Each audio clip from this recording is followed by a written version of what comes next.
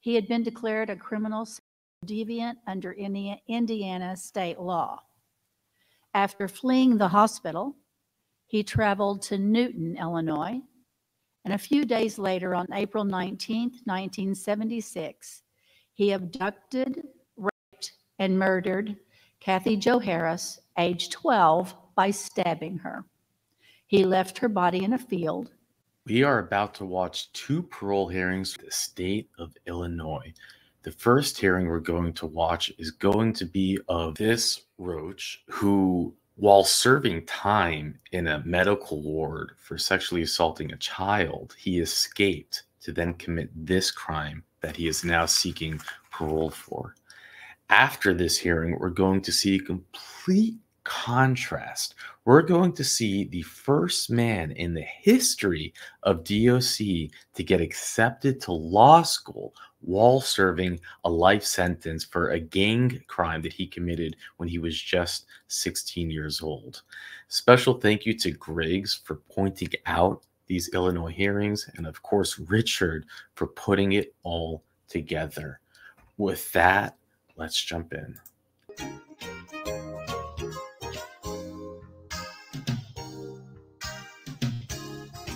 And I'm back. I wanted to share that music intro with you because it's fascinating to me, at least, to see the different cultures and processes for each state and how they handle their parole hearings. Illinois has this interesting classical hold music. I'll spare you most of it, but I'll fill it in every once in a while. They also appear to be using a potato to do the recording, so please forgive me for that. But I do want to point out that in hearing number two, we will see the inmate in person with better camera angles. It's so each hearing is a little bit different. But with that, let's go. Would you like for me to start? That would be wonderful. All right. we will. On March 6th of this year, Mr. Michael Lett was interviewed uh, by me at the Dixon Correctional Center via WebEx. The interview uh, lasted uh, one hour and 50 minutes. No one else was present for the interview. He is not represented by an attorney. Mr. Lett is a 69 year old male who's been in Dixon Correctional Center since October the 9th of 2019.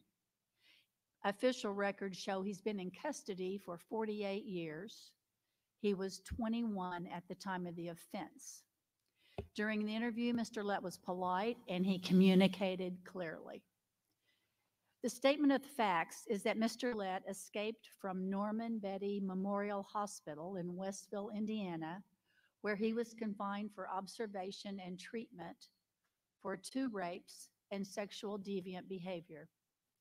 He had been declared a criminal sexual deviant under Indiana state law. After fleeing the hospital, he traveled to Newton, Illinois, and a few days later, on April 19, 1976, he abducted, raped, and murdered Kathy Jo Harris, age 12, by stabbing her. He left her body in a field. He drove to Florida in a stolen car and was arrested a few days later. Mr. Lett was convicted on July 16, 1976, and sentenced in Jasper County for the criminal offense of murder, concealing homicide, aggravated kidnapping, indecent liberties with a child, armed robbery, and theft. In describing the offense, he said he was tired and hungry so he stopped at a grocery store. He saw a young girl come out of the store. He explained that after the rape, he was taking her back to town. She grabbed a knife that was laying on the seat and it cut his hand when he took it from her. He then stabbed her. He said he was never violent like that before, referring to the stabbing. He said he did not plan to commit the crime. He said the stabbing occurred out of paranoia and frustration. Mr. Lett stated he was on drugs when the crime occurred. He said he did not know what he was taking as he got the capsules from the college student he picked up. He said he'd been taking drugs for four days and he was not sleeping. He believes PCP was mixed in with it and it messed him up. He does not say that drugs are the reason for the offenses, but says he believes they played a part in the way it ended. He said he chose to take the pills. He does not deny that the crimes occurred and states he takes responsibility for the crimes.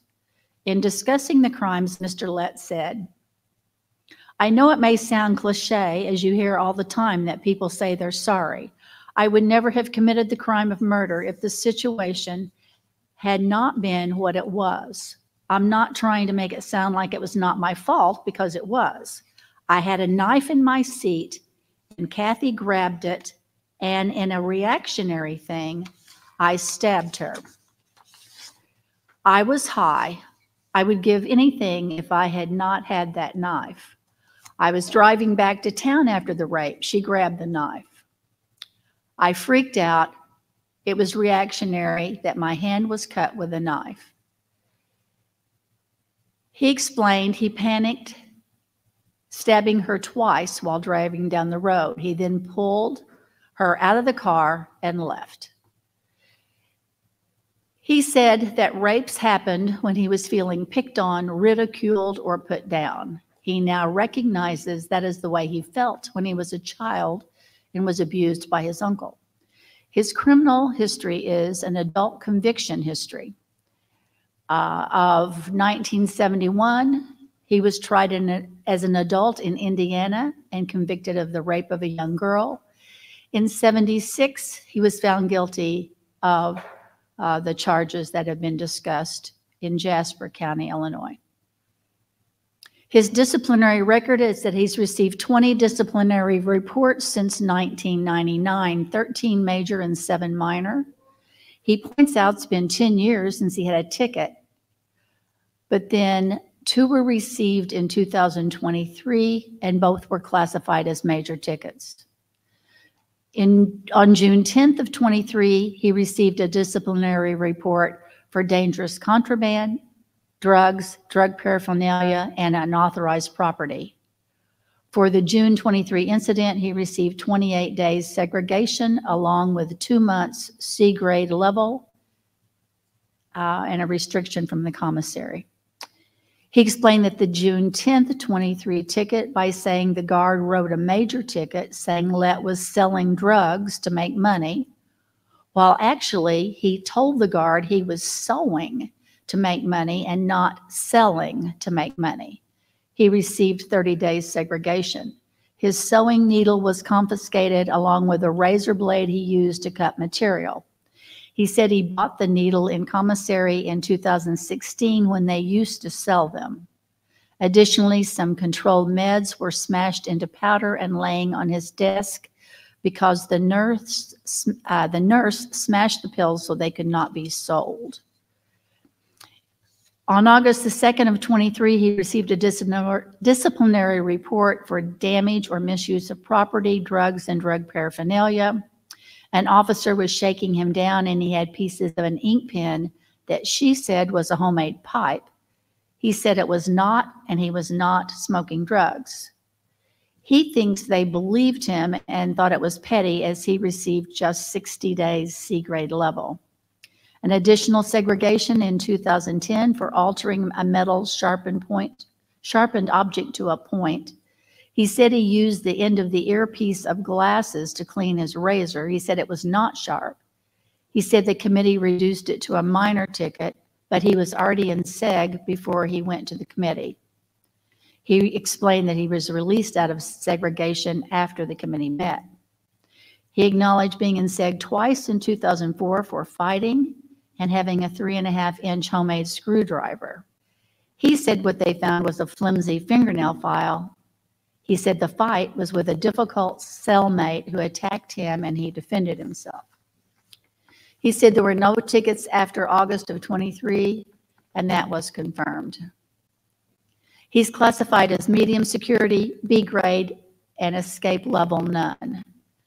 His personal history is that his mother died when he was young, and he and his sister lived with their grandmother while their father was in the military. When their father returned, he married and started another family.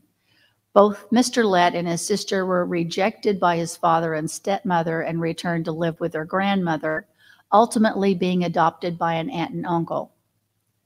He realizes that if he'd given his adopted father a chance, things could have been different. They became close only after he became incarcerated. He said he never understood why he chose his victims until he had therapy. He states he was abused as a young boy, starting when he was about four years old. An alcoholic uncle who lived in the home abused him mentally and sexually. He told him he was no good. He wished he was dead. The uncle blamed him for his mother's death as she died in childbirth. The uncle beat him and took advantage of him sexually. He says he's come to terms with the abuse he faced as a child and it has an impact on his thoughts and actions. He said that when things went wrong, he felt bad and took it out on young girls as his uncle had done to him. He said that if he had acknowledged and accepted the problem he had, then none of this would have happened. He said in the beginning he denied and took no responsibility, but he now acknowledges his acts and says he's learned conflict management skills, which he uses while incarcerated. He stated he's very sorry it happened. He wanted to write Kathy Jo Harris's mother to state his reg- reg- regret. His counselor stated it would be best not to send the letter as it might stir up old feelings and cause her some issues. He claims there was a letter to the Illinois Prisoner Review Board from her mother saying she no longer wished to pursue a denial of his parole. He said the letter was in 1993 or 1994, but the letter is no longer in his file. He said he inquired about it numerous times, but to his knowledge, no one contacted her to ask if she wrote the letter. He said the turning point in his life came at a picnic at Menard that his father, sister, and five children attended. It occurred in 1982 after a family tragedy when his brother in law, nephew, and two cousins all drowned. He said his sister's children were 12, 7, 5, 4, and 3. At the picnic, the seven year old immediately attached herself to him, followed him, and hugged him on his hand and on, hung onto his shirt. When it was time to leave, she wanted to stay with him and she cried. He said he broke down, realizing he was not able to help his sister and the children. He said it did something to him, and what happened finally made him want to take responsibility and find out why the crimes happened. He said he thinks about the crimes and how they affected his family. His family continued to stand by him, and he wonders why. Mr. Lett's last in person or video visit was in 2008. He was in telephone contact with Darlene Lett in September of 2023. For programming, he attended a sex offender program at four of the facilities where he resided. He also attended drug programs. He had six weeks of treatment at Dixon. Dixon does not offer a sex offender program now, and it's been a couple of years since he attended counseling. His last work assignment was in 2021. He worked until his back became bad. His legs give out, and so he walks with crutches. He can walk a short distance without them. As far as education, he's done pretty well in that he received a GED and certificates in drafting, electronics, food sanitation, and culinary arts class.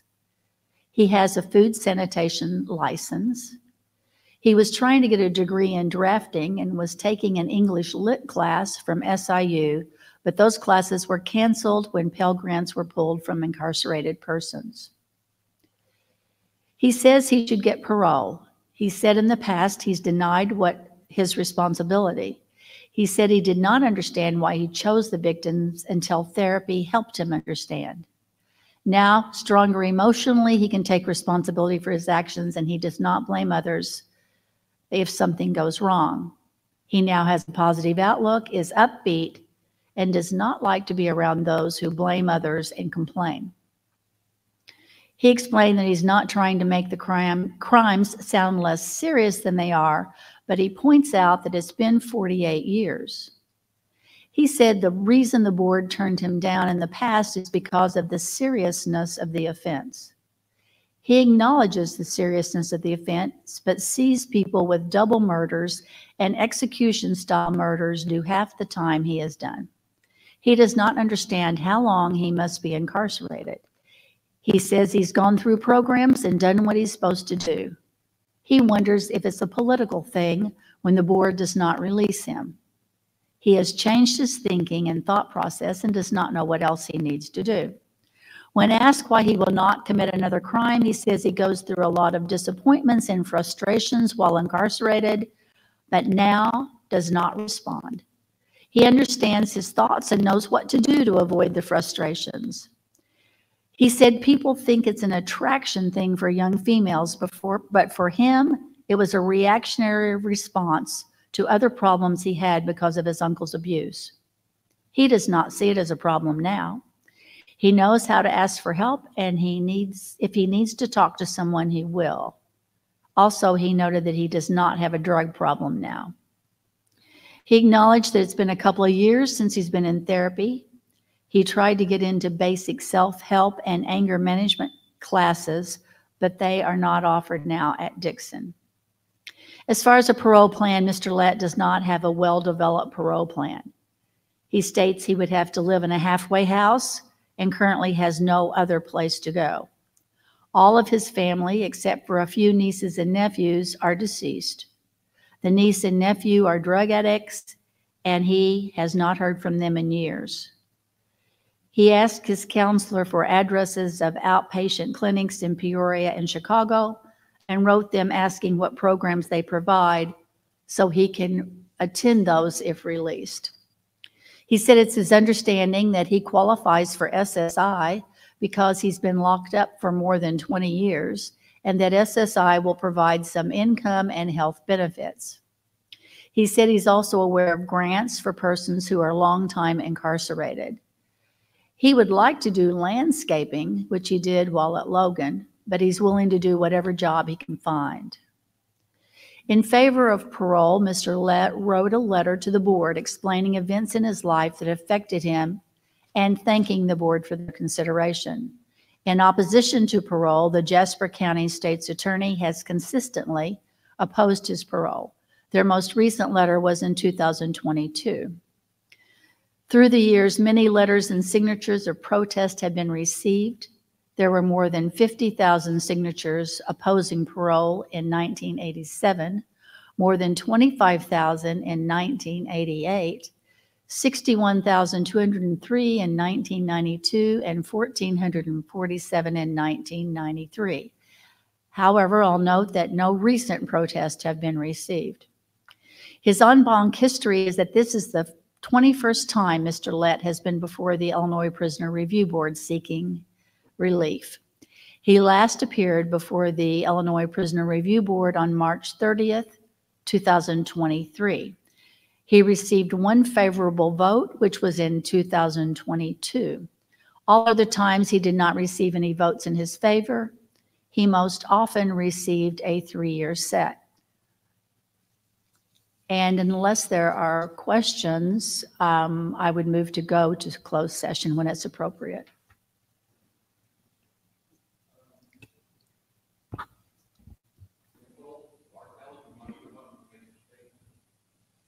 Nicole, you want to come up and make a statement at this time? What? She's not testifying, she's making a request. Can, can you hear me? Yep, Okay. I'm Nicole Bartel with the Illinois uh, Attorney General's Office. If Mr. Lett be paroled, the Attorney General's Office requests a 90-day stay for an evaluation under the Sexually Violent Persons Commitment Act. Thank you. motion's been made to go to executive second session. Do we have a second? Mr. Coates, second. Those in favor? Aye. Executive session.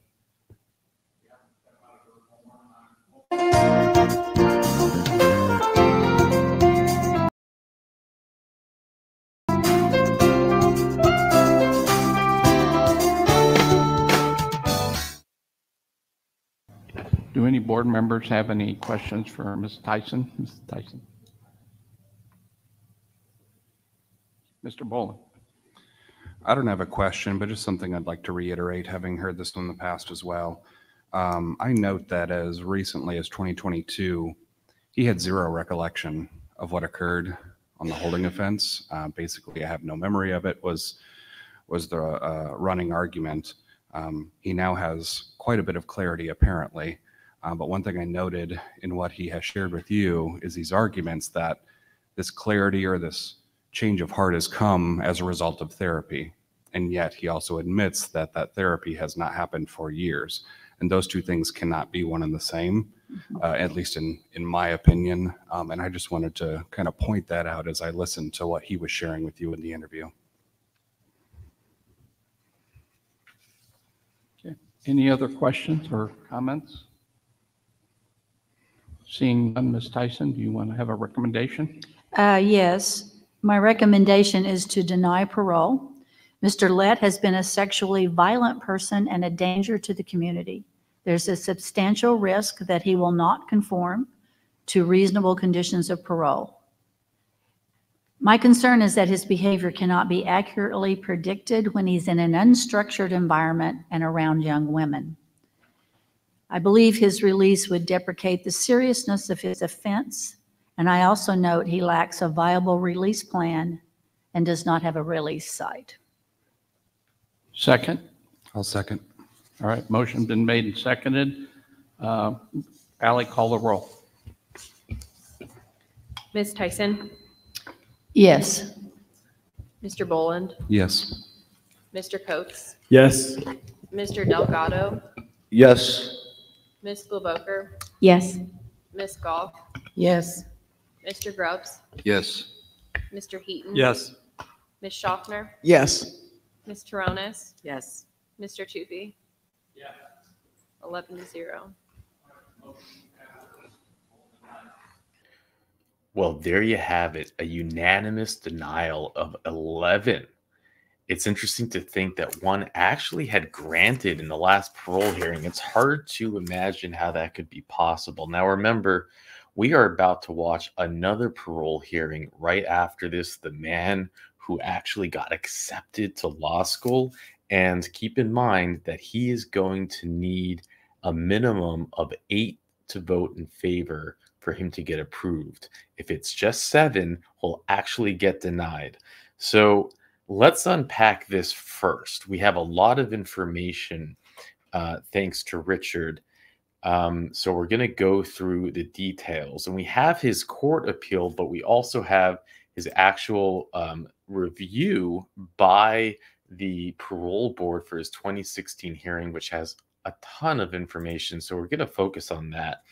But before we do, I just want to point out a few things. One is that if you want to see anything that's broken in the system besides their filming equipment and I don't know, elevator hold music, it's the idea that of how many times he has been up for parole. And not just how many times he's been up for parole, but how many how recent his parole, first initial parole eligibility even took place. In 1987, he had his first parole hearing. That would have been just 10 years after his conviction for sexually assaulting and killing a child. The mother of the victim in 87 had to show up to parole. In 88 had to show up to parole. In 92 and then 93 and then at some point maybe she passed away, I don't know. But they they had 50,000 petitions in 87 saying that he shouldn't get released 25,000 petitions in 88 these numbers are astronomical. I mean this is before the internet. These are people that are filling out by hand going around the neighborhood. This crime shook a community 50,000 i mean that, that number is hard to digest for me and then in 1992, they smashed that record by getting 61,000 petitions. And now in 93, just a year later, it dropped all the way to 1,500. And I, I'm just saying that I think that's criminal and shocking. And we, you know how we vent about this, but the idea that they would victimize and re victimize and that their law allows him to come up for parole year after year and put the family through this is to me just insane. Put the community through it. He's been up for parole 21 times. And even now, in this denial, they're allowing him to come up for parole in three more years. And it's like, I don't know, what's the purpose of that? You know, is it just to give him hope? Is it he's he's there are certain people that are broken and he's one of them and you'll even read it in their reports what they come up with but you can hear it just even what he said i i'm sorry that it happened. I wish that the knife wasn't there. He's blaming it on the knife being there. She picked it up and i panicked. He's still lying. He's still in denial. He's still not taking accountability. I only lash like the words that he said at this parole hearing only shows just you know um but they all did deny at least they did that and and it was interesting because it's just this is not what i picture when i think illinois that big room and the kind of all i don't know it's just not what i pictured and you might be surprised by the next hearing too but let's jump in and, and if if you want to just skip over my unpacking i'm not going to take it personally scroll ahead and jump to the next hearing so let's go because this might take 15 minutes or so. So remember this is the report for his 2016 parole hearing. And again thank you griggs for telling us that this existed the secret sauce our local native illinois man mr griggs. Um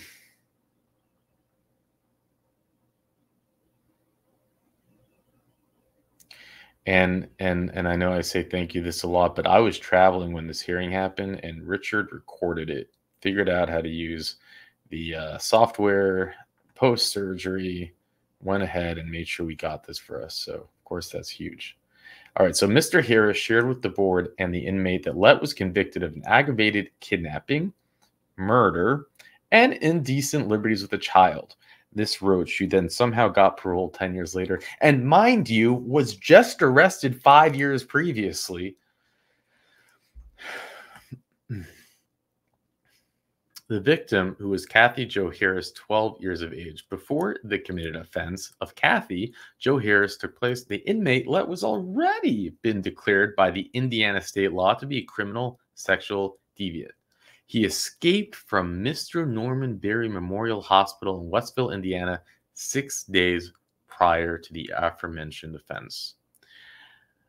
It, and that just makes it all that more tragic. This could have totally been prevented in so many ways. At the time of the arrest, Michael Lett was identified as a white male, 21 years of age, medium complexion, with blue eyes, light brown hair, standing at six foot two, 210 pounds. This you know, monster doing this to 12 year old girl. On July 12, 1976, the defendant, Michael Lett, enters a plea of not guilty. The jury finds the defendant guilty of murder, aggravated kidnapping, and indecent liberties of the child, armed robbery, theft, concealment of homicidal death. At the time of the offense, Scott L. Belford, assistant public defender of Newton IL, represented the defendant the defendant, Michael Lett, made the following comments regarding the present offense. I just don't understand how he's eligible for parole after 10 years. Like, that is crazy. He stated that he was about to complete phase five of the program of Mr. Norman Beatty Hospital, had community employment, a sponsor for parole purposes, and would have been paroled upon completion of the program. However, a female patient at the Norman Beatty Hospital got a case of the crabs and accused the defendant and another patient of his unit ward of having intercourse with her and passing on the crabs like as if the story had to get any more convoluted and and and sick this is how it is he's at the hospital for some reason and he's accused of giving someone else crabs there while he's like incarcerated for his previous offense. This is before he escapes. The defendant states that he can you guys see this properly? Let's see if i can make it better for you. It's a little better right? Here we go. The defendant states that he and other fellows were both tested and came out clean, but the blame was placed on him and he was taken out of the program and placed in a holding pattern and confined to maximum security. Of course, just, of course he was innocent. We know that. The defendant stated that personnel didn't like him and that he couldn't have had intercourse with the female because he was granted weekend passes and was on a weekend pass at the time of that alleged incident. Can you imagine? He was that's the way that they guarded this guy who had done this to a child. They gave him weekend passes. On April 13, 1976, the defendant left the facility after dinner by telling the security that he wanted to go to the kitchen and get a loaf of bread for his ward. It's hardly, it's not escape. You know, they make it sound like he escaped. He like just walked out. He went to the kitchen and walked out the door through a tunnel and hid in the personnel lounge until it was safe to leave the grounds. The defendant stated that he contacted his parents and girlfriend, and they in turn were going to let to get him legal advice for him, and he planned to turn himself in. On the contrary, he met with two fellows in the parking lot, didn't know them. They found a car with keys locked inside, so they broke into the car and took it. The defendant stated the fellows were with him for one day and they sold him some speed and mass and uh what's it called? Mescaline? And was also drinking and everything from there became a blur. Poor guy. The defendant states that he remembers and he talks about being bullied. He's six foot two 210 pounds and in his thing i did it because i was bullied. Yeah okay. Okay bro. Um the defendant states that he remembers waking up in the hospital parking lot uh, at around 10 a.m. He remembers buying some crickets at a bait shop and going fishing between Olney and Newton, Illinois.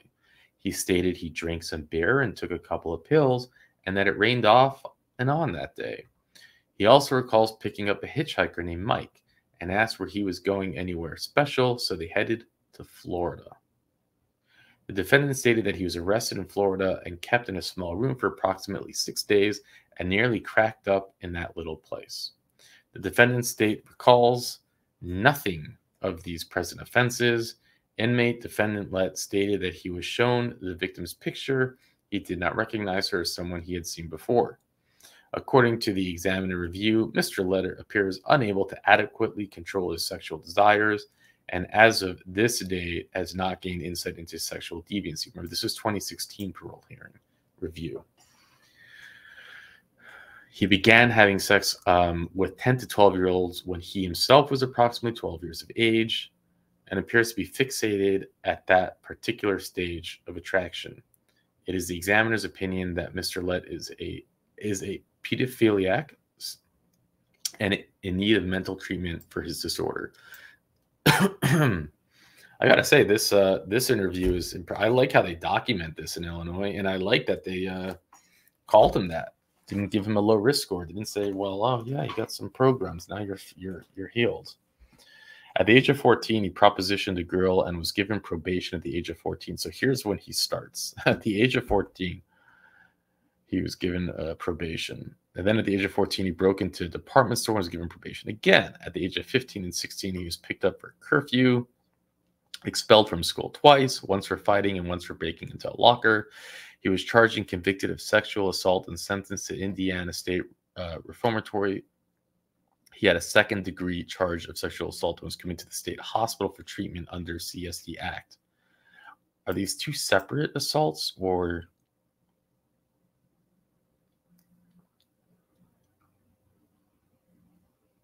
Yeah, a second charge. So this was his second charge. So he go I guess he goes to prison. I think he got a 5-year sentence then he gets out immediately does it again and for some reason they send him to hospital. That's um that's brilliant of them. Just completely brilliant. Uh, inmate Lett was adjust was adjusted a delinquent child in case number J6961D in Daviess County, Juvenile Court, Washington, Indiana. At the juvenile house, he was very destructive and damaged property to boats, the Conservation Club, breaking and entering, where he was uh, apprehended partially dressed in female clothing and enticing female children for sexual purposes at Cis Clothing Store in Washington, Indiana On June 11, 1969, the juvenile court of Daviess County, um, a judge inmate Lett to be a delinquent child and entered a temporary order of probation to parents with certain conditions, shall not hang out in uh, roam the streets, shall not have contact with female children, shall abide by a 10:30 p.m. curfew. Why even such a late curfew? He's a child. Gosh, I mean, there are some things that are just bizarre. I mean, even in, in Louisiana, they got a curfew till like starts at 9 p.m. for adults. They're giving a child a 10:30 p.m. curfew. Wow, that's real strict, man. Inmate Lett was admitted to Evansville Hospital for evaluation approximately one week during 1969 and again from October 19th, 1971, December 1st, 1971, September 1971. The circuit court uh, appointed two doctors who hold unlimited license to practice medicine and da da da da da da.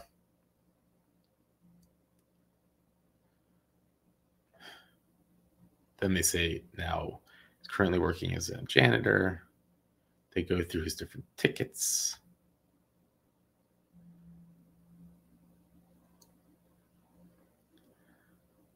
Um, this is interesting because this is different uh, than it is now. But at this time, if he was to be paroled, he would live with his ex-wife. So somehow this guy got married. He told the board uh, on a letter on behalf of March 12, 2007, from his ex-wife, Darlene. Letter states, "I am writing concerning my husband. I'm requesting that if he's granted parole, that he be paroled to his parents' home. I am filing for divorce, so I don't think it would be a good idea for Mike to be around here."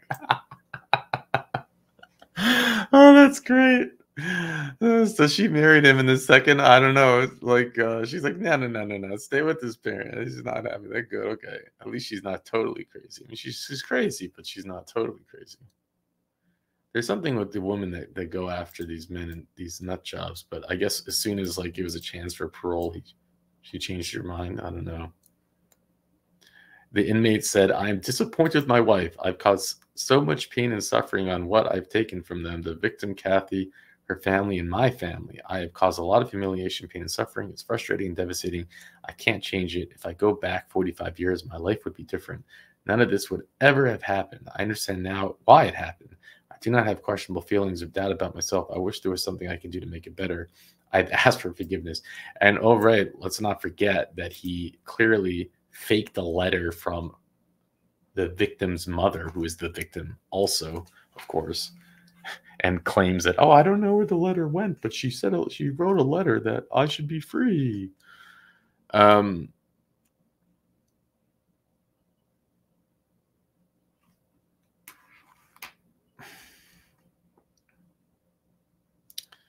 I'm a changed person. I take full responsibility for my actions. I've become a better person. I want the opportunity to prove that. Well, no, you're not going to get the opportunity, Roach.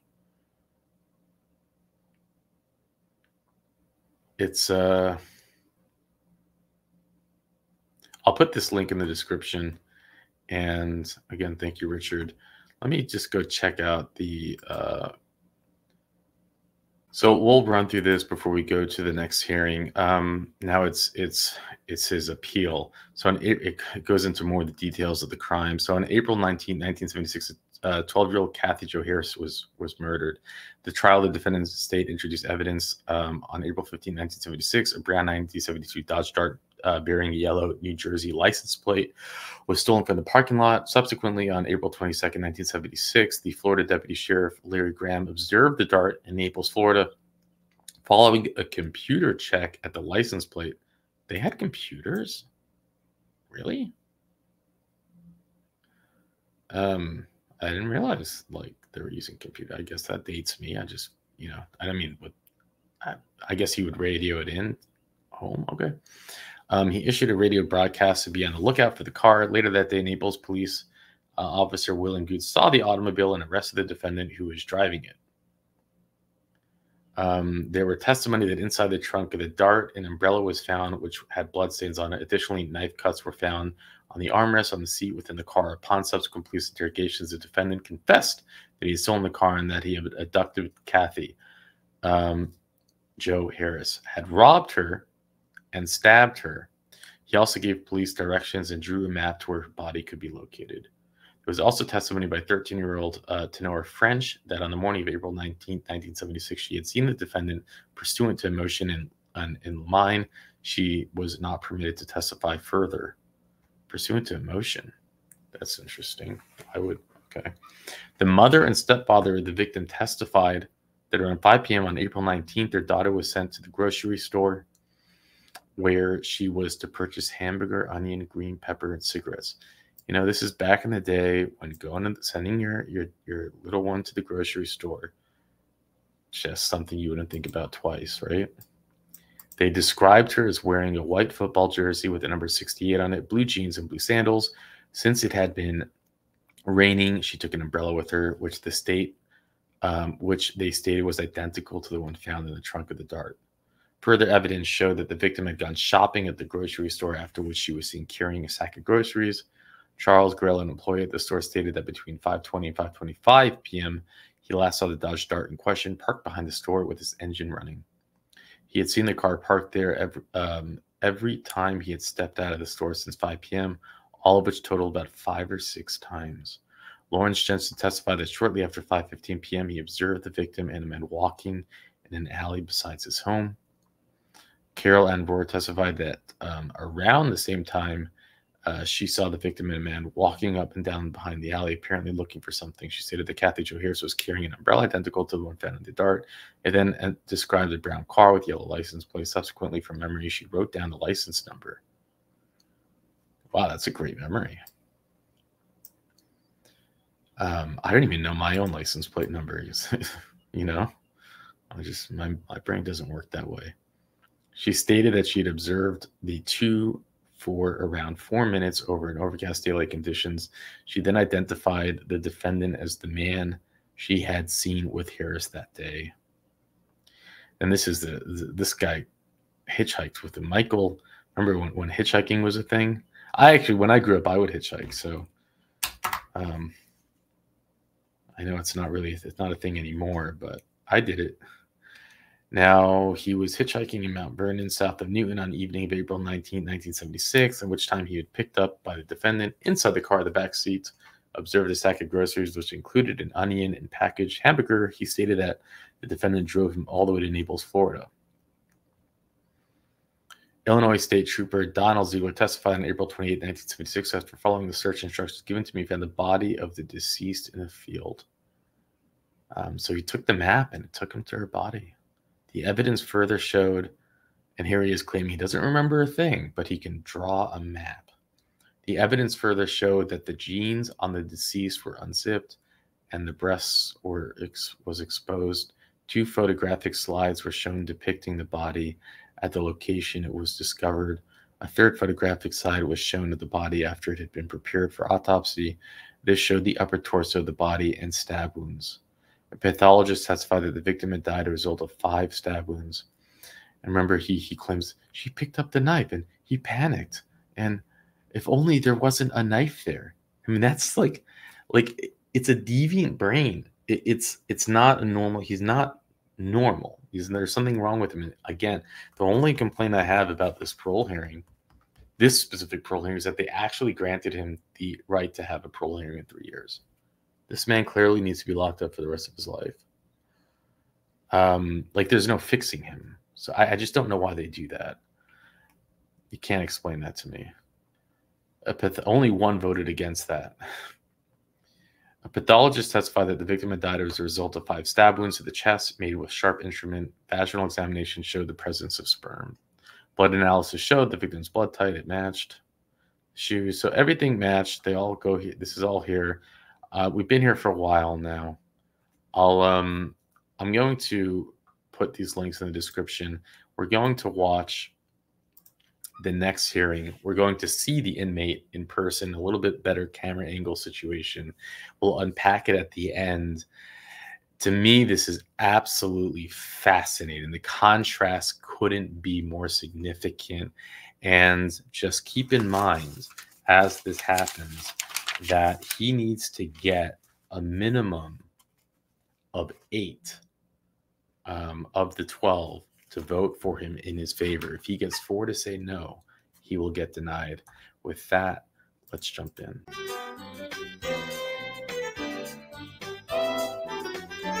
Um, on March 19th, 2024, Benard McKinley was interviewed by myself via WebEx from Crossroads Adult Transition Center, where he's currently serving a sentence for murder with intent. He's been in custody for 23 years since 2001 when he was 16 years old and has a current MSR date of March 20th, 2026. Also present were four individuals speaking on his behalf. Carl Leonard of the Exoneration Project, um, who did note that he there was no innocence claim here. He simply represented Mr. McKinley um, in his resentencing hearings under Miller, um, as well as Jennifer Lackey and Sheila Bedi of Northwestern University, Mr. Andre Martin, who serves as the program director at Crossroads, and Alyssa Martin, who is Mr. McKinley's um, aunt. Um, he appeared in a dress shirt and tie and presented with an amiable, reflective, and professional demeanor. Statement of facts of his case. On June 24, 2001, Mr. McKinley, at the age of 16, shot and killed 23 year old Abdo Serna Ibarra. The victim and his friends were on their way to play soccer when confronted by Mr. McKinley and his friends. Words were exchanged between the two groups, and a physical altercation took place between the victim and one of Mr. McKinley's friends. The victim's friends testified that they had then heard Mr. McKinley's friend, who had just been punched, yell, Shoot him, shoot him. And Mr. McKinley then either drew a gun from his waistband, which is what's described in the statement of facts, or was handed a gun, which is what was referenced in appellate court hearings, um, and chased the victim and shot him once in the back and another several times after the victim turned around and raised his hands. His original sentence was 50 years for the murder, with a consecutive 50 year term for the firearm enhancement, for a total sentence of 100 years to be served at 100%. His co defendant pled guilty to second degree murder and was sentenced to 17 and a half years in prison. Mr. McKinley's sentence was initially affirmed through several post conviction proceedings until the consideration of Miller versus Alabama, which found that the initial sentencing judge had failed to appropriately consider his age and maturity at the time of the offense. He was initially resentenced to 39 years. A further appeal found that the resentencing had also failed to appropriately consider his youth at the time of the offense and his subsequent rehabilitation, and he was resentenced once again to 25 years. Uh, regarding his statement to the offense, at the interview, Mr. McKinley repeatedly took accountability for the offense and resultant harm, including to the victim, victim's family, his own family, and the broader community. He would return to these themes of harm and responsibility even when other topics were under discussion. He was able to articulate the ripple effects of taking an innocent life and the steps that he has taken since that time to reflect and grow from it. Among other efforts, he participated in the Healing Beyond Harm program, which provided an extensive restorative justice curriculum that culminated in his writing an apology letter to be available in an apology bank should the victim victim's family ever choose to access it. Regarding his criminal history, he was a minor at the time of the offense. Before his arrest for this murder, he had only minor interactions with the police, and there are no subsequent violations of law on his record. Regarding his institutional adjustment, um, uh, from his childhood, uh, there's indication that he had a difficult childhood in which he was exposed to violence, experienced rejection by his father, and was left by his mom to be raised by his grandmother at a young age. Um, and that, uh, by all accounts, he went on to pursue acceptance in the wrong crowds. Um, currently, he has no noteworthy mental or physical health diagnoses for our, our consideration. Um, in his 20 years in custody, he's had four tickets, none of which were for violence. His last ticket was in January of 2008. In his interview, he repeatedly took responsibility for his tickets and refused to minimize their significance despite their nonviolent nature. Um, I did note in viewing his master file that he had served an ex- extensive period of time in administrative segregation at Menard from approximately 2012 to 2015. His master file contained minimal information, um, but made reference to an allegation that he had been using influence within the institution to encourage staff assaults but it should be noted this allegation never went through the disciplinary process, nor is it reflected in his disciplinary record. Um, due to subsequent litigation, we were unable to discuss in much depth, but Mr. McKinley believed that the segregation was due to an intercepted communication with other individuals in custody that made reference to staff assaults. While he acknowledged and took responsibility for the reference, he indicated that it was in the context of ad- advocating for the use of the legal system rather than violence to secure institutional change. Um, I did reach out to internal affairs to see if they ha- could shed any further light on this period. Um, they indicated as context that it had been a very active time um, within IDOC from uh, for the Latin folks and coordinating staff assaults and other resistance, and it resulted in a, sig- a significant number of transfers and the removal of Latin folks and their affiliates from the general population. and his segregation had been part of that larger activity due to his association with the Spanish Cobras. Um, they did not communicate any current concerns about Mr. McKinley uh, within the institution. Um, he describes using his time in segregation to read uh, voraciously. He takes responsibility for the language of the communication that resulted in administrative segregation and now believes he was naive to believe that he could change the mindset of others about how to best redress grievances. He states that he knew when he was let out of segregation that he would rather stay in a corner to himself than be a part of anything that wouldn't have good results. Um, Mr. McKinley did earn his GED while he was still in Cook County subsequent to his arrest. He earned a paralegal degree in Menard, where he has spent most of his time in custody. After his transfer to Stateville in 2016, his academic accomplishments include an associate's in general studies from Oakton Community College and a bachelor in general studies from Northwestern last year.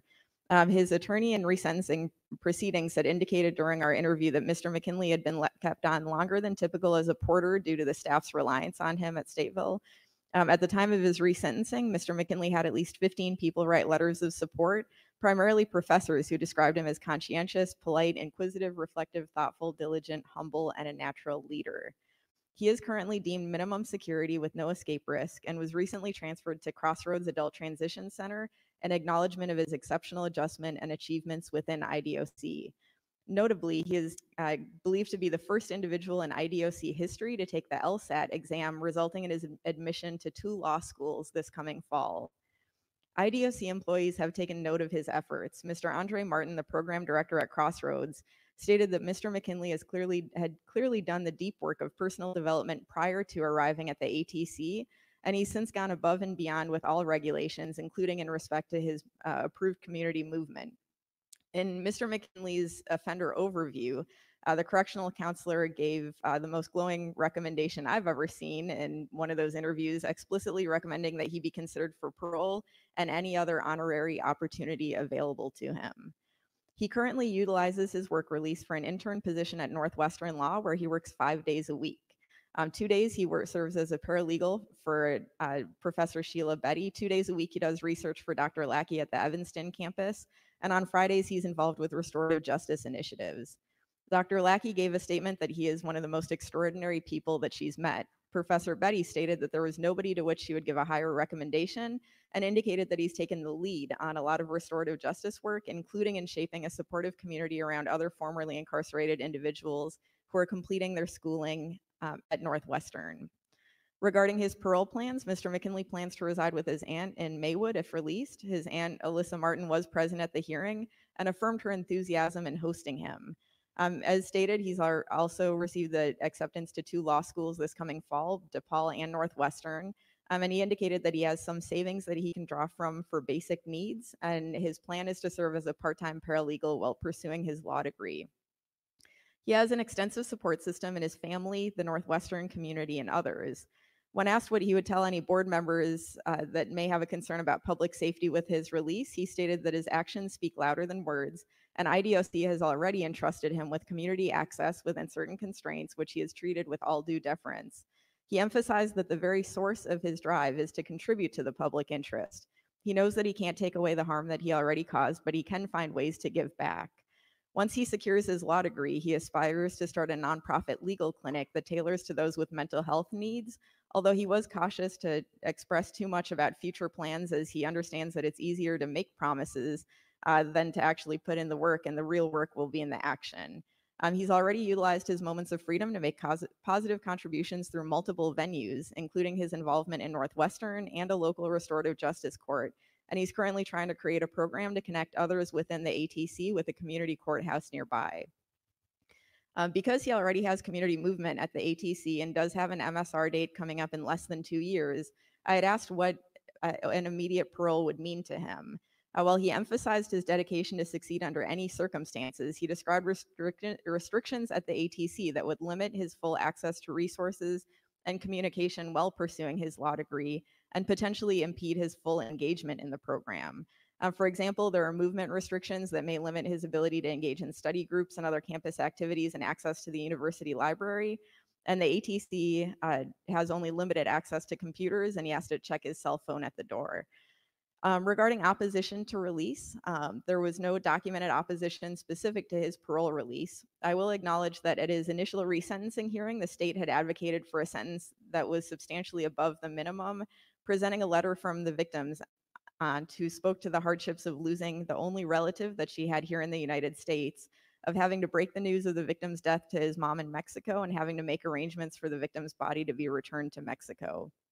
The judge who initially resentenced Mr. McKinley to 39 years pointed to the mercilessness and senselessness of firing multiple shots at an individual who had his hand raised. Um, this is Mr. McKinley's first appearance in front of the board. If not granted release, uh, he would not be eligible until after his MSR date of 2026. So he would expire out at that time. Um, I don't have anything in particular to discuss during closed session unless anybody wanted details regarding those minor police interactions as a juvenile. Um, but otherwise, I would not move. I would I cede to the individuals present to speak. Thank you. Uh, Do any of the board members have any questions for Ms. Globokar? Oh, hearing none, I guess we'll proceed on to council.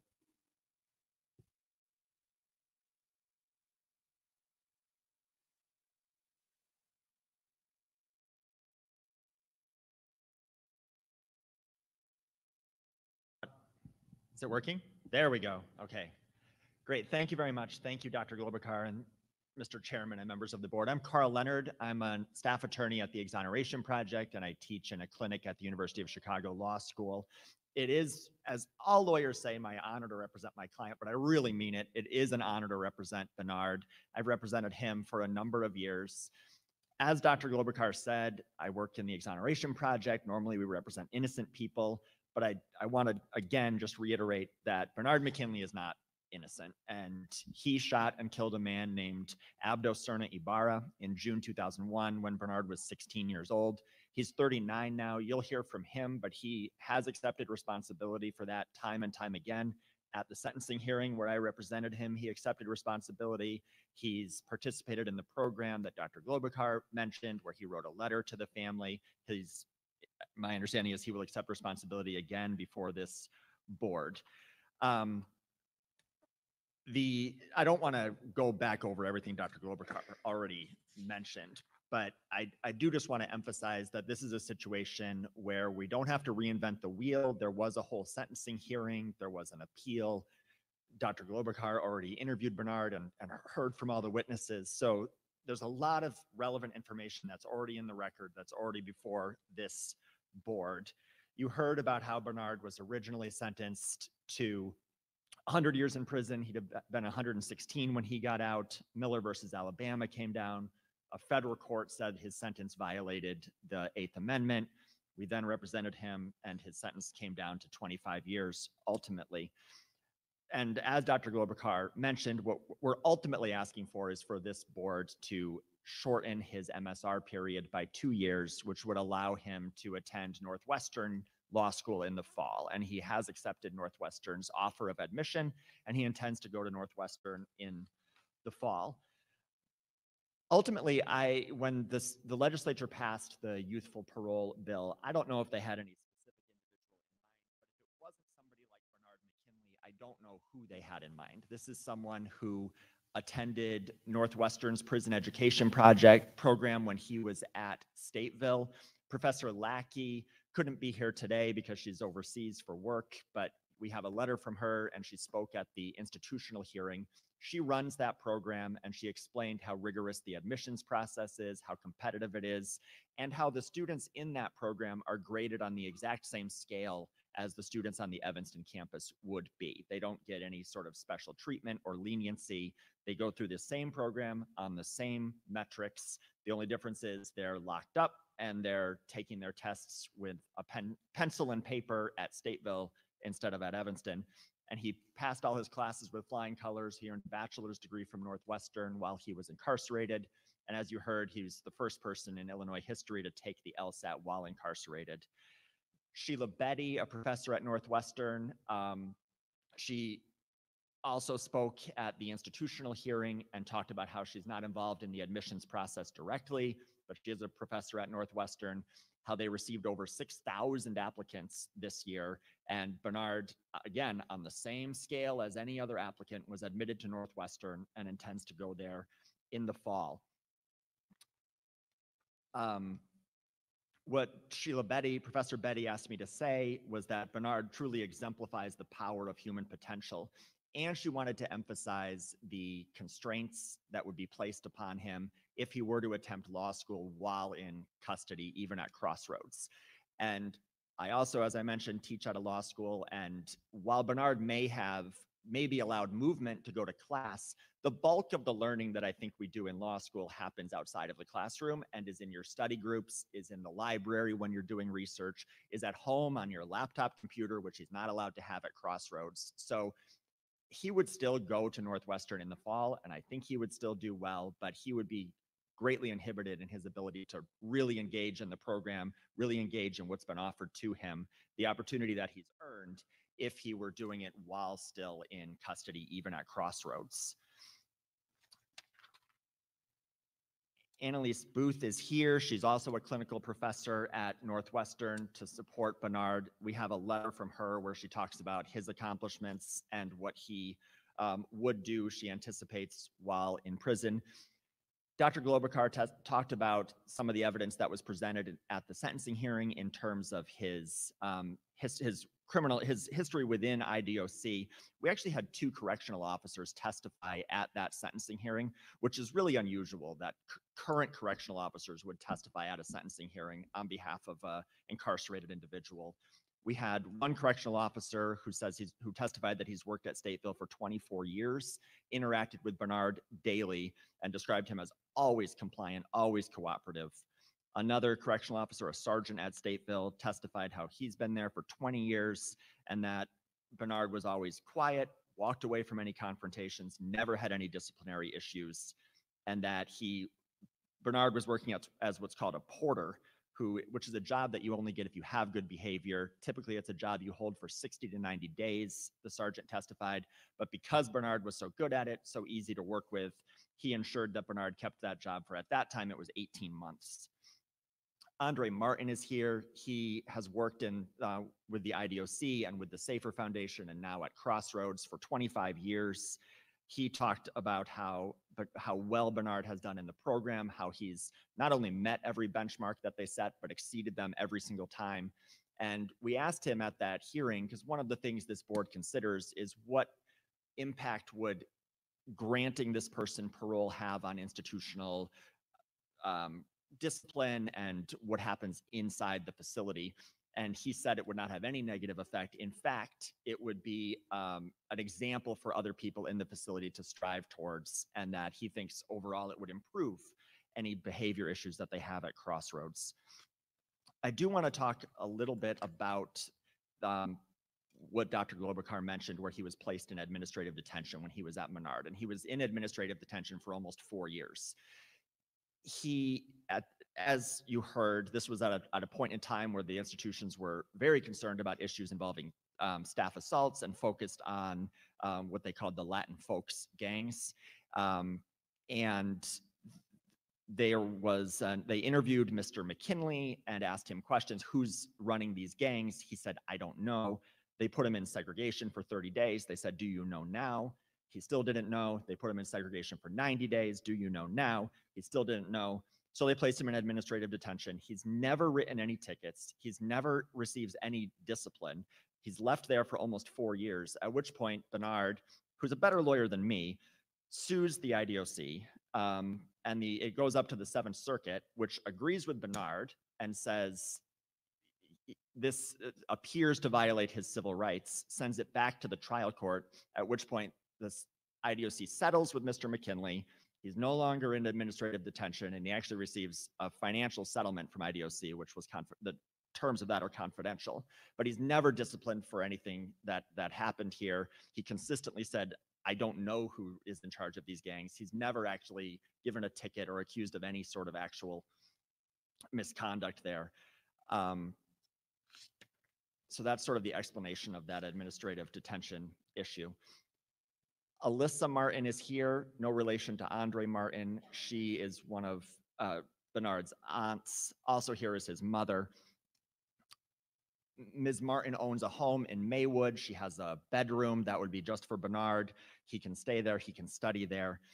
And in addition to all the support that he has from his family, um, I want to emphasize that we at the Exoneration Project stand behind Benard. We employ a full-time client resources coordinator who can help with any issues that the family can't help with, from getting insurance to getting a copy of his birth certificate if that's been misplaced, to getting a bus pass, whatever he needs. So those issues will, we will make sure are covered for him. So just stepping back and looking at Benard, who he is, at everything he's accomplished, the appellate court, when it ordered Benard's sentence reduced to 25 years, said that the evidence of his rehabilitation was overwhelming. That was the word they used. And I want to emphasize that the vast majority of what Benard accomplished was before Miller versus Alabama existed and well before the Youthful Parole Act existed. This was not steps that he was taking in order to impress you all or in order to impress a sentencing judge who is considering the Miller versus Alabama factors because none of that existed. He took all of these steps towards rehabilitation because that's who he is. And I think that's really worth noting that this is an, an expression of his character, of who he is, not an expression of some sort of attempt to garner favor from this body. I also want to acknowledge that I think all of us are aware of current events. And I think the oftentimes the IDOC is criticized, sometimes fairly, sometimes unfairly, for not adequately helping people rehabilitate. Benard is a success story for the IDOC. He went in as a 16 year old gang member and came out as somebody who has moved beyond all of that with a bachelor's degree from Northwestern and who had taken the LSAT. He is a success story for the IDOC. And as I mentioned with current events, I think there has been obviously some questions about this board. Benard will be a success story for this board as well. If he is given the opportunity to be released on parole, go to Northwestern, he will succeed. He will do very well. He has the support of his family, of Northwestern, of us at the Exoneration Project, and he will be a success story for the Youthful Parole Act and for the actions of this board. So I strongly encourage that he be granted parole. I'm happy to answer any questions, but thank you very much. Thank you, Counselor. Uh, We'd like to hear from your client next, and then uh, we'll open it up for questions from the board. Uh, First, I want to say, um, thank you for allowing me to attend and be in person. Um, I definitely take accountability for my acts. You know, I'm not gonna sit here and try to mitigate it or try justify. it. I was sixteen, I did it, and, you know, that's something I gotta live with. Uh, I was nineteen when I was given that hundred-year sentence, and I was headed downstate. And during that six-hour ride, you know, I had a lot of thinking to do, and you know, I didn't know what my life was going to be. All I know is that it was a possibility I might not ever get out. But I- was determined to do my best of basically finding myself and continuing to better myself, no matter what the outcome was. And this was in 2004. Uh, any person that comes into IDOC, an adult facility at a juvenile age or as a teenager, gonna have challenges, you know, and I faced those challenges and I overcame those challenges. At the same time, I've stayed focused on bettering myself and what I want to do. Um, Like my um, attorney said, I didn't start educating myself before, I mean, after Miller came out. I was a paralegal before Miller came out. Um, I had other certificates of self-help and other things that allow me to continue to go towards that positive transformation before Miller came out. Uh, This, this has been a hell of a journey and, you know, I'm proud to sit here and say that this fall I will be a JD candidate and soon be civil rights attorney. Uh, It's no shortcoming, and I'm gonna always be in debt for my actions and what I did. But my worst mistake ain't who I am right now, and my actions is showing that. You know, this is just the foundational work that I'm doing. Once I get my law degree and I'm able to start practicing, then y'all really gonna see exactly what my work can do. And like I say, I'm not here to minimize what I did, you know, I'm one hundred percent guilty and I'm taking full accountability of it. And, you know, I'm just hoping that one day when I do get out, that I'm able to contribute back into my own community and help those, especially the at-risk youth, because they need role models like me to be able to show them that you can make mistakes, but you can transform and better yourself if you're determined to and given the right opportunity. So I ask y'all to please allow me to be able to, to attend law school the way every law student can and allow me to continue to show positive transformation and, and do what I can do to give back to my community. Thank you. Thank you. Uh, I'll open it up now from the board if anybody has any questions. I have a couple of questions. Uh, It, the appellate opinion, which I think is attached as Exhibit 1 to your petition, uh, the court wrote that at the resentencing hearing, the defense counsel asked for a 25-year sentence. Is that correct? Yes, that's correct. And uh, I'm curious, in light of the request for parole now in advance of the 25 years, what the thinking was in requesting 25 years. The sentencing range for first degree murder is 20 to 60. And so I think it's always a difficult decision on the defense side of whether you're going to ask for a number or whether you're going to say something at the lower end. I think sometimes I'm, I'm, I'm using vague terms because I don't want to get too far into attorney work product, but sometimes it makes sense to use, to pick a specific number that accounts for the severity of the crime and the particular characteristics of the individual defendant. And in those circumstances, we would sort of try to pick a number that we thought accounted for the severity of the crime and any sort of mitigating factors. And so um, ultimately, the trial judge rejected the suggestion that we made for a number, but then the appellate court accepted the suggestion that we made. Thank you.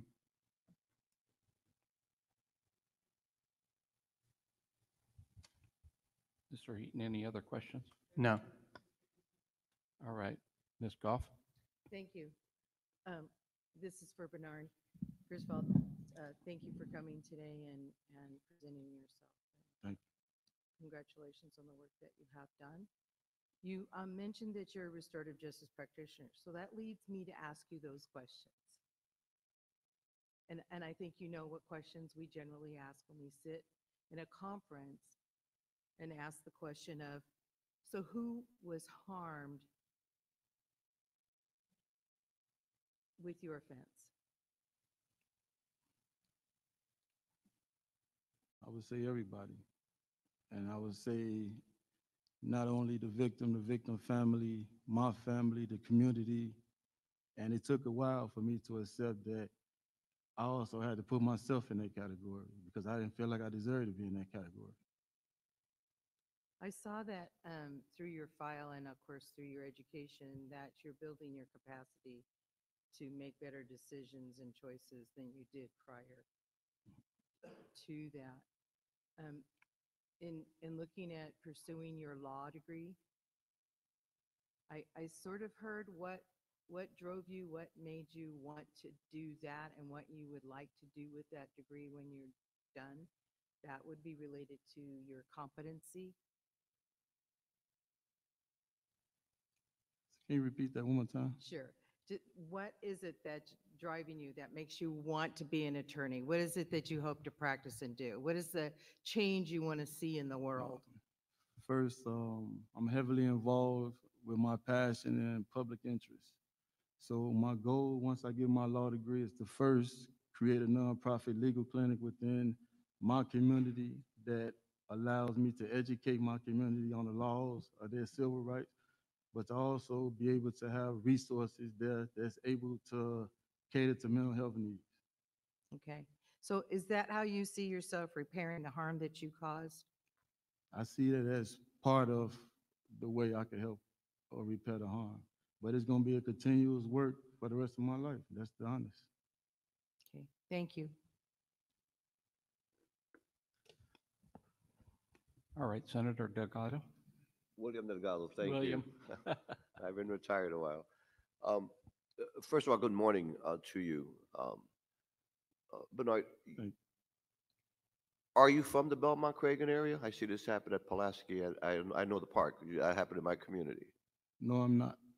Okay, and so prior to that, on that day, you traveled over there? Oh, at that time, I Yeah. was, yeah, I was staying with my aunt there, so You were at that staying in time, the, yes. in the yes. community there at the park, but I, it's very active there. Um, And at the end of the day, when you go, when you leave, what- if you were to be released now, where would you be going? May, Maywood, Illinois. Okay, as indicated in the petition. Going back to my, my observation, um, when that occurred, the young man, uh, in your mind belonged to what street gang? Say that one more time. sir. In your mind, what street gang did the, did the victim belong to? Because I see this, as, you know, this is, don't blame, this is blaming the Um, victim. We have two, The two Latin, situations here the Latin King. for the Kings. And in that time, um, and that occurred in the Belmont Cragin community, is that correct? Yes, sir. Um, uh, your evolution is phenomenal. When you were at that age, where were you going to school? Steinmetz High School. That's Steinmetz, okay? And uh, you have no other criminal history, if you will. Uh, That's correct, is that right? Yes, sir. And um, Northwestern isn't somewhere that's easy to get into, so. No, it's not easy at all. And, um, but at the end of the day, um, so this was a, a gang, two gang affiliations that, that occurred that day. And, and uh, it, that occurs unfortunately in our communities. Um, your evolution is, is, is one, uh, very unique. Um, I commend you for that.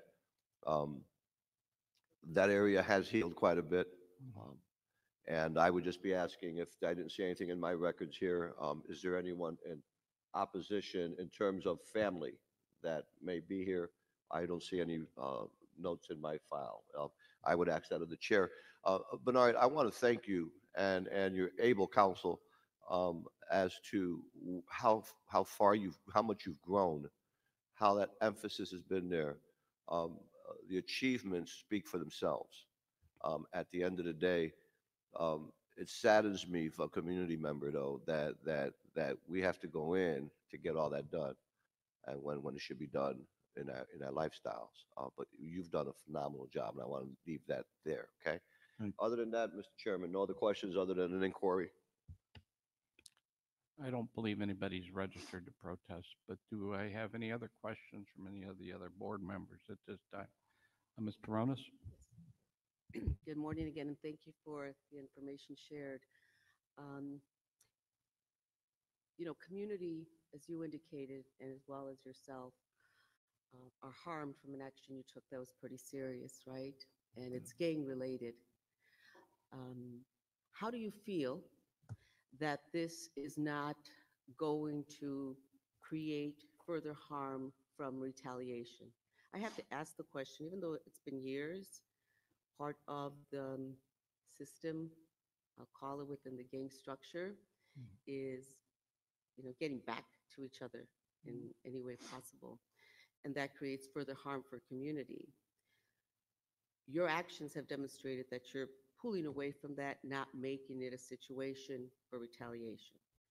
But at the same time, the work that you're going to pursue is going to put you in those areas, right? You're going to be speaking to youth who still have that mindset, you know, getting back at people in whatever fashion or way, because that's the lifestyle. It continues to be, and this is why we continue to have shootings in our community, not understanding not to be reactive, not to make poor choices. How do you see that? Have you thought about that as you venture into um, larger communities and then you're going to refocus into communities who are um, suffering? Can you share a little bit about that? I know it's a Uh-huh. question, but it's a statement. At the same time, what are your thoughts around putting community at harm concerning what you're doing and if there is some thought around someone retaliating? Um, I've been out since December last year far as movement inside the community. Every day I take public transportation. Uh, Yeah, I understand, um, your concern as far as that question, but I can't allow that to stop me from doing what I need to do to my, help my community. So the choices I made at that age have been made already, but I can't live in fear, you know, I can't live in fear of somebody wanting to retaliate against me today, tomorrow, ten years from now. Because at the end of the day, I have a job to do, I have a responsibility to do, and it's to give back to my community. So if that means sacrificing my life in order to give back to my community for the harm I did, then that's the, the job and the duty I'm taking. So at the end of the day, I'm gonna have that legal clinic, and I'm gonna give back to my community every way I can, and I'm gonna let my community know that I'm there for them. Thank you for saying that, um, and I appreciate that uh, sharing and position you're taking because we can't operate from fear, right? Um, I also just want to highlight the fact that he has started the um, the healing process, hopefully through the, and I say hopefully for community to, to get access through the bank that you submitted your letter, correct? You submitted a letter uh, to the victim, and if when they want to ac- access it, they can, right? Exactly. Um, This is, I don't know if the board's familiar with that process. Um, I don't want it explained in length, but it's an opportunity for our returning citizens to write a letter of apology um, to the victim or to victims in similar situations to access that letter. And that's afforded to uh, only, I believe, certain institutions. I don't know if they've expanded. Uh, But that gives the opportunity for returning citizens to express if the victim is unable, and of course, we can't connect victim to returning citizen at this time. So I commend you for taking that opportunity and doing that since it was extended to you, because that's a start in the right direction. And I commend you for everything else you're doing, and that you took self-initiative and partnered with IDOC in what they did afford in programming to you, and you took advantage and went above and beyond. And thank you for your commitment to the community. We need folks like you out there to redirect youth and families. Families are critical to the transformational change.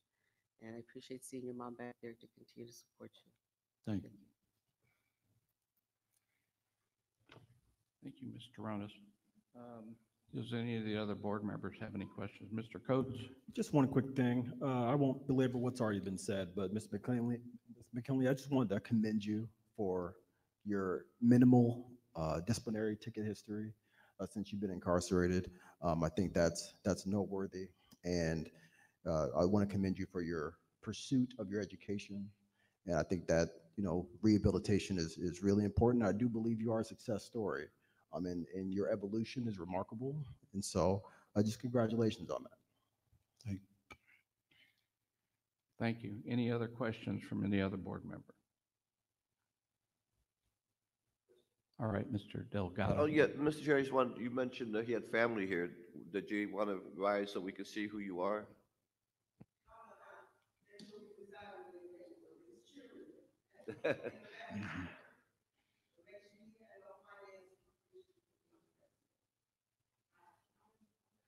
Thank you, ma'am.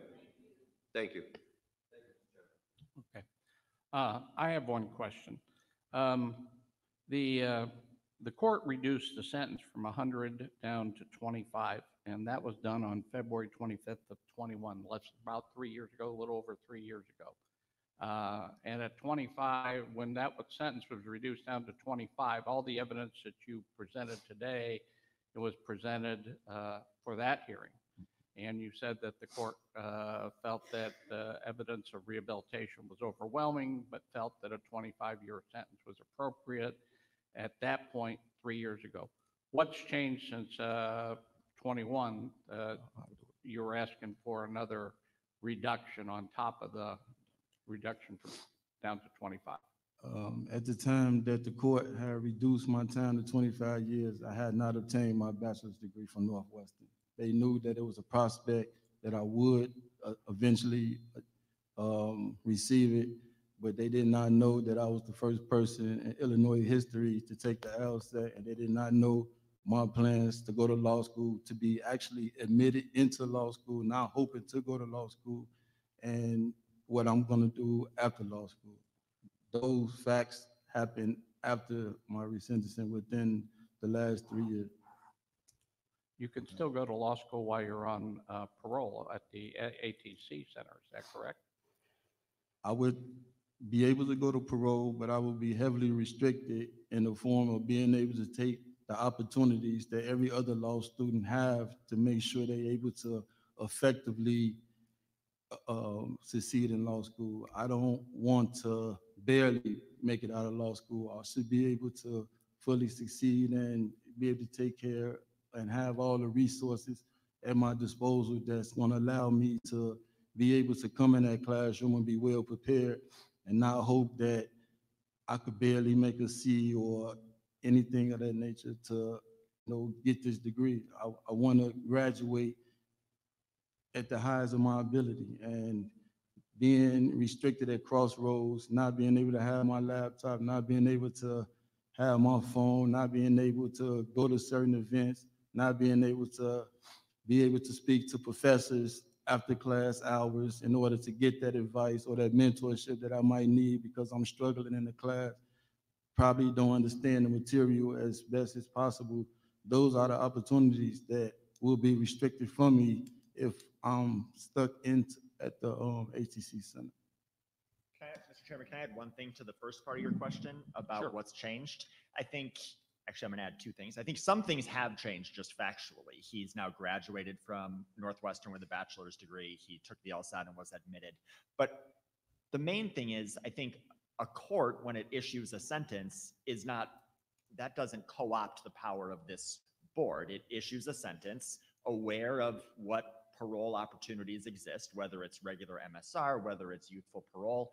And so it's not like the appellate court said he does 25 years and he should not get out on parole before the end of that 25 year sentence. They sentence someone aware of the existence of this board and other opportunities like that. So yes, the the court did what's within its power and said, we think a 25 year sentence is appropriate.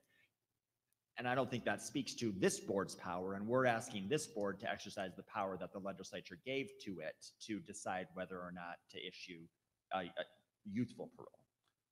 But the court had the option of going down to 20 years on a murder charge because that's the minimum. So they had that option at the time of sentencing. Is that correct? And there, this goes to the, uh, the question for Mr. Heaton. Um, I have second guessed the decision not to ask for 20 years many, many times, but I think I ended up creating a floor by saying that we wanted a 25 year sentence. Okay, I have no further questions. Uh, See, any other questions from any other board member? Seeing none, Ms. Globokar, do you have any motion? Um, I do. I'll share my rationale as well. Um, the board is tasked with considering whether a person's release would deprecate the seriousness of the initial offense, whether it would be detrimental to institutional discipline, and whether the individual can reasonably be expected to conform to the conditions of release. Based on Mr. McKinley's own testimony as well as that of others and many letters of support, he has demonstrated positive character and accomplishments during his time in study. He's described as having uh, demonstrated impeccable compliance in his community movement from the ATC. Um, as we've heard, there are correctional officers that have actually testified during the resentencing on his behalf. It does appear in full evidence that Mr. McKinley would conform to the conditions of release. Andre Martin, the program director from Crossroads, specifically in our interview, shared that Mr. McKinley's parole would have a positive effect on institutional discipline by serving as an inspiration to others who have seen his efforts and successes, indicating that he has set the standard among his peers. Um, it appears that his release would likely have a positive effect on institutional discipline. This only leaves the question of whether his release would deprecate the seriousness of the underlying offense. Mr. McKinley committed a senseless act that took the life of Mr. Abdo Serna Ibarra and forever impacted the lives of his loved ones.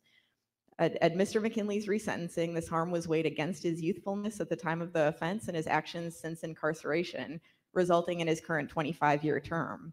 While it's difficult to imagine any sentence that would reflect the depth of harm caused by a murder, As, and as Mr. McKinley himself acknowledges, nothing can take away that harm. He has demonstrated his commitment to making amends to the best of his ability. In this unique case, ongoing incarceration would, to some extent, impede those efforts. As he is near the end of his current sentence and appears to appropriately carry the weight of Mr. Serna Ibarra's death with him in his reparative endeavors, in this particular case, I don't believe it would deprecate the seriousness of the offense. It's thus with all due acknowledgement of the irreparable suffering of the victim's family that based on my assessment of the three factors to be considered in parole decisions, my motion is to grant parole to Mr. to Mr. McKinley. We have a second? I'll second. Second. Okay. Motion's been made and seconded. Clerk, you may call the roll. Ms. Globokar? Mr. Boland? No. Mr. Coates? Yes. Mr. Delgado? Yes. Ms. Goff? Yes. Mr. Grubbs? No. Mr. Heaton? Yes. Ms. Schaffner? Before I render my vote, I would want to commend council for the recommendation for 25 years um, because it gives this board the opportunity to acknowledge and um, uh, provide some s- acknowledgement for his success uh, in this vote. And so my, my vote is uh, yes. Ms. Taronis? Yes. Ms. Tyson? Yes. Mr. Tupy? No. It's eight to three. It passed. Motion passed eight to three.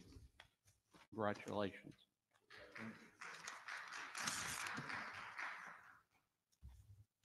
Thank you very much. I don't know about you, but I just love this story. I,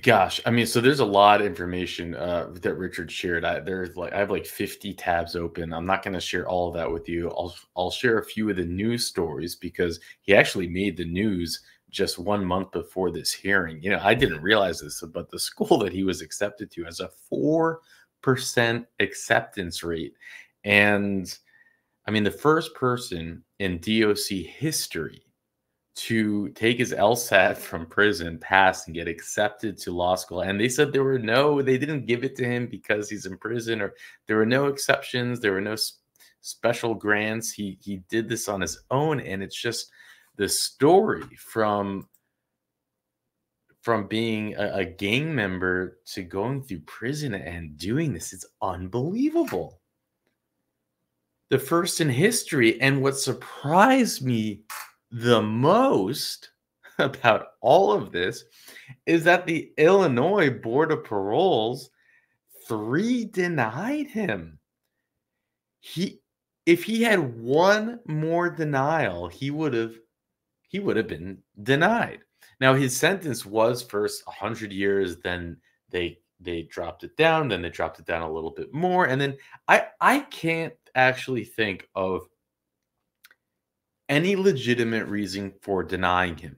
You know, the, the one that comes up is well, the Supreme Court said that it should be reduced to 25 years, and we don't want to overrule the Supreme Court.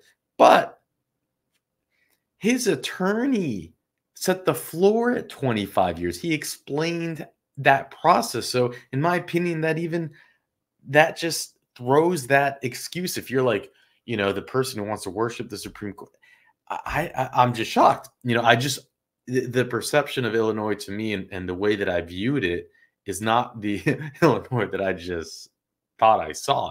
Three denials. I, I, I it's remarkable to me, and I don't understand it. You can't. To me, that doesn't make any sense. This should have been a unanimous uh, vote. So I am very eager to see more Illinois hearings. We have one more hearing, um, which the board would did not take it easy on him. I mean, in in some sense, it's like maybe they're just.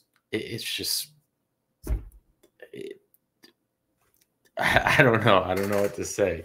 Um, but we'll, we'll go. We'll watch some of this stuff. We'll go over the court document a little bit about about what actually happened. But I'm sold hook, line, and sinker on this man, on Bernard McKinley. I mean, I think that that they're gonna, in my, they're probably gonna have a Netflix uh, series on this guy. I mean, he it, it it's remarkable. It's remarkable. It's just absolutely incredible. And let's go check this out. All right, we're going to turn now to a story about second chances and a man turning his life around. In the fall, Benard McKinley will join the class of 2027 at the Northwestern School of Law. Now, his journey to study there is like no other. ABC's Will Ganss joins us now with his story. Good morning. Will. Good morning, Gio. The acceptance rate at Northwestern's law school is just 4%, but the odds of Benard McKinley even being able to apply were so unlikely. Here's his story. Benard McKinley will start law school in the fall, but his trajectory to this moment almost impossible. McKinley earning his bachelor's degree, taking the LSAT, and applying for law school, all while incarcerated. He was sentenced to nearly 100 years behind bars after a gang related conviction at age 19, making a decision to change his life on his bus ride to the state penitentiary. I promised myself before I got out that bus that no matter what the outcome was, that you know I was just gonna try to do better for myself. So he did. While behind bars, McKinley earned his GED and applied to a paralegal program. I started trying to understand the law um, little by little. McKinley working to reduce his own sentence and sharing what he learned with those without the means or access to legal aid. I was giving back and contributing to those who was in need of help. You know, in spite of them being incarcerated with me, you know, they were still human beings. Jennifer Lackey had a front row seat to McKinley's perseverance. For the five years in the program, Benard just worked tirelessly. He was relentlessly focused. Now looking forward to starting school in the fall. My goal is to be a civil rights attorney and to also open up a nonprofit legal clinic in the inner city of Chicago. And though McKinley is the first graduate of Northwestern's prison education program to go to law school, he hopes he won't be the last allow your incarceration to be a time of self transformation. Not only was Benard the first incarcerated person to take the LSAT in Illinois, he's also the first person in his family to go to college. A full circle moment for the man who says he accepts full responsibility for the mistakes he made at age 16 and for the man he's becoming 23 years later. What a story. And the message, too allow the incarceration to be a transformation. Yeah. Um, and he's doing exactly that. And he worked so hard. Great story, Will. Thank you. Thank Gio, you. you better. That is pretty incredible. I was thinking of that line he said too. Um, let your incarceration be your transformation. Hey, that's probably the best way to look at it if you're going to spend all this time locked up, but so few do. And again, I'm just blown away that three uh, wanted to deny him. I, I, I can't wrap my mind around it. Now, um, okay, so so he's he he's out. I think he's gonna he's the real deal. I think he's gonna make changes in this uh in his uh, it's it's cool. I felt I, I, needed this story. I don't know about you guys, but I needed this. Um, and it, it's quite inter- interesting. Now he, he he wasn't kidding when he when he started practicing law. Richard shared with me like twenty. I mean, he was he was. I mean, maybe there's a reason why they kind of retaliated against him with that gang stuff. Um, I'm just speculating here. You know, if you remember in the hearing how they actually, um, you know, got him in trouble and kind of was so he has all these lawsuits. he has lawsuits uh, filed against the DOC and against certain uh, COs and against. So he's got one after the other, after the other, after the other. So he was he might have pissed some people off in the system, and maybe that's actually why uh, they put him through all that trouble a few years ago with the whole gang thing when it clearly he wasn't associated with any gang. But again, that's just speculation. Um, but so let's go over this one real quick. And of course, thank you, Richard, for putting this all together. I mean, sometimes it's just too much information for me to digest um, that we have to share here. So I try to, especially after a long hearing, just keep it down to the to the uh, what, what I find particularly interesting. So this is written in 2018. Little hope of release for many juvenile with life sentences. And and from reading this, by the way, again, it seems that Illinois they were not all, you know, rainbows and butterflies about releasing their inmates. They were giving him a hard time, which just not th- something I would have expected. So, you know, we learned something new all the time. And I don't know, that's not what I expected from the Illinois culture and court system, but they talk about the story. The order came from a 15 year old bicycle near Chicago Park in 2001. Shoot him, shoot him. This is again talking about the, the crime scene. Bernard McKinley, 16, obliged, and Abdo Serna Ibarra, 23, never made his way to the soccer field. McKinley was later arrested and charged as an adult uh, with first degree homicide for the killing of Serna in 2004. Cook, uh, in 2004, Cook County jurors found him guilty. The sentencing judge, Kenneth J. Wadas, went on to make an example of McKinley and his homicide, condemning the young man to 100 years in Illinois Department of Corrections, 50 years for the murder, um, and a consecutive 50 years for the fatal use of a firearm. The sentence was necessary to deter other criminals, Wadas said in court, and would enable another and would enable others to play soccer with the one less Bernard McKinley out there with a handgun blowing them away. Um, with no chance of parole or early release, McKinley was doomed to either live to celebrate and surpass his 116th birthday or grow old and die within the fortress of the state prison system. And look, the the the, the life sentence for taking a life in that way, um, I I don't disagree with with that. Uh, we I mean we see that all the time, right? So it's not that's not you know um, the sentencing judge, although you know they, they kept making it out to be like a gang thing uh, in the hearing, and they don't mention that here. Of course, it, it doesn't mean that it wasn't. It's just so the sentencing judge, Kenneth J. Wadas, went on to make an ex- okay, da, da, da, with no chance of parole. Okay, I'm sorry, I went through that. A court reckoning. Over the past few decades, scientific research and courts began grappling with a question that could dra- dramatically shift the course of McKinley's life. When it comes to crime, are children adults? Are children and adults different? Court across the courts across the country slowly began to address the issue bolstered by research showing that the human brain, particularly parts responsible for controlling impulses and assessing consequences, is not fully developed until one early 20s. And so courts ushered in a new era of decision making, ruling again and again that children accused and convicted of crimes must be treated differently than adults. The decision culminated in a Miller versus Alabama, which, of course, this is what we see all the time in Louisiana um, a 2012 U.S. Supreme Court ruling that laws declared mandatory life without parole sentence for juveniles, even for those convicted of murder, are unconstitutional under the Eighth Amendment. The court found that the mandatory sentence uh, precluded judges from considering the defendant's chronological age and its hallmark features among them immaturity, in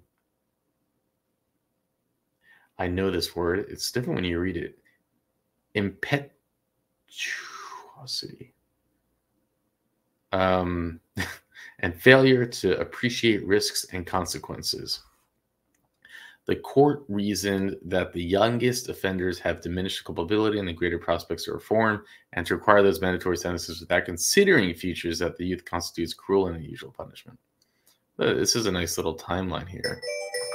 So they have 2005, um, where they banned the death penalty for juveniles.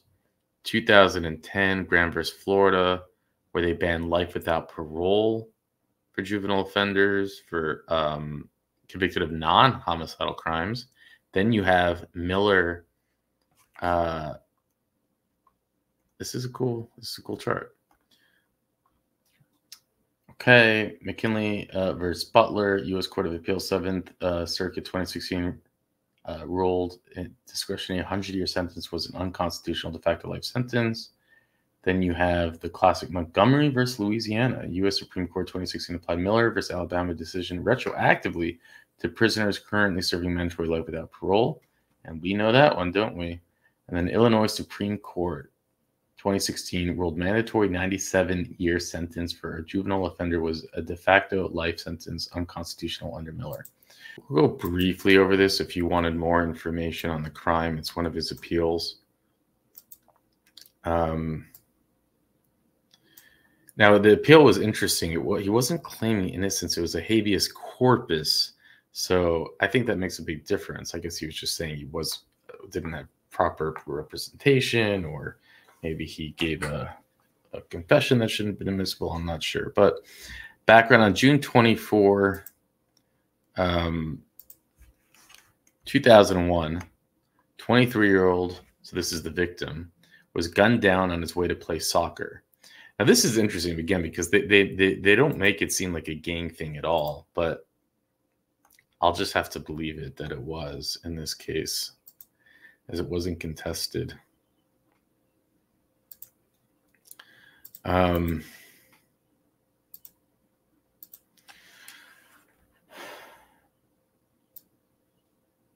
Sixteen-year-old Bernard McKinley, the petitioner and co-defendant, were charged with the homicide. McKinley was convicted after a jury trial and sentenced to consecutive 50 years, one for murder, one for deadly use of firearm. McKinley appealed unsuccessfully and received no relief from Illinois court on his original and successive post-conviction petitions. He now petitions the court for a writ of habeas corpus, arguing that his conviction and sentence violate the federal constitution.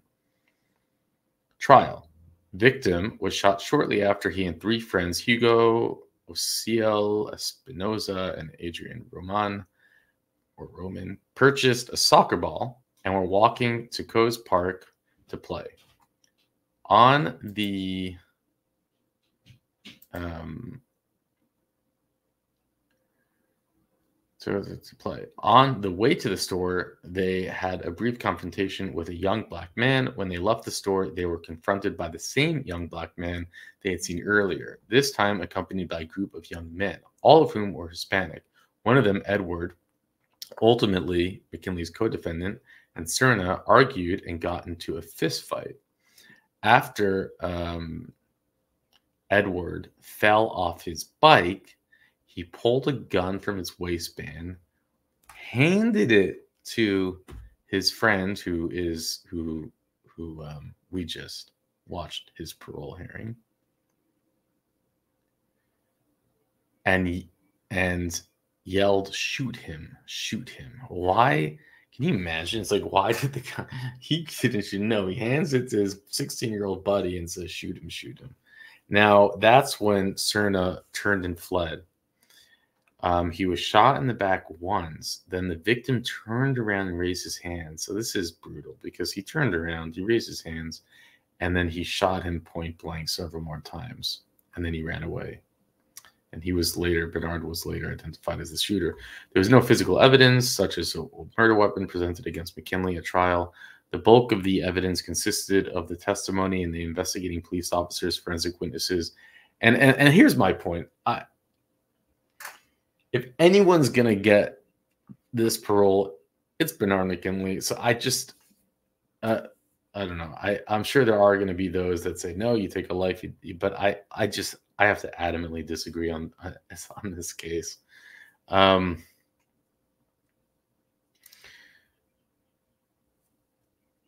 Bulk of evidence consisted of testimony, investigating police officers, forensic witnesses, and four witnesses who identified McKinley as the shooter. The three friends of the victim present during the shooting, the confrontation preceded it, and one resident in the neighborhood. Michael Thomas, who was familiar with McKinley and testified that he saw McKinley flee the scene with a revolver in his hand. The three friends testified that they had uh, picked McKinley out of a photo array and that Thomas picked from uh, a lineup the day after the shooting, and each of them identified McKinley in the court shooter.